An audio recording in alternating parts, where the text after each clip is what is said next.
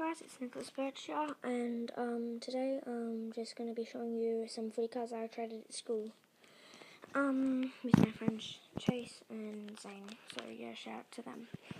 So first we have Brendan Goddard, Footy Power Long Bomb.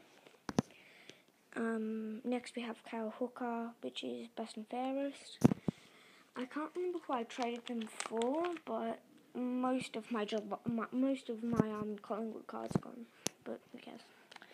Uh, Stevie Motlop, Uncatchable Cat, Footy Power. Um, Stefan Martin, Footy Flicks.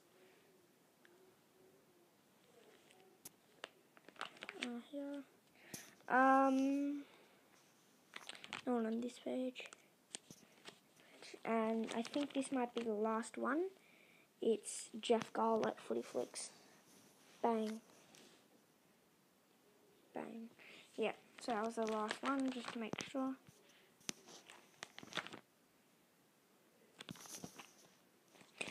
So yeah, make sure to like, subscribe, and see ya there.